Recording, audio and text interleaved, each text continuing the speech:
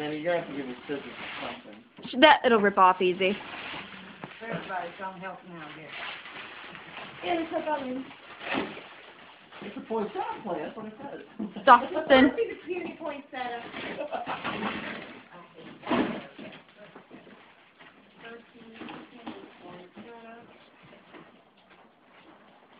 Oh my god. Is it a girl? Yeah. It's a girl. Oh my!